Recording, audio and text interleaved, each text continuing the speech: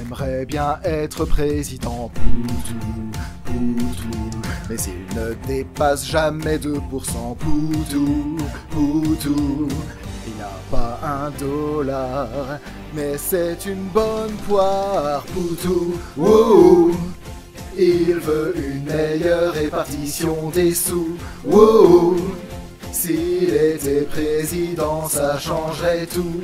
Wouh il n'est pas riche, c'est un smicard. Sur ses affiches, il ne porte pas de costard. Chez les ouvriers, c'est le grand Manitou. Wouh Il fait de la capoeira et du kung fu.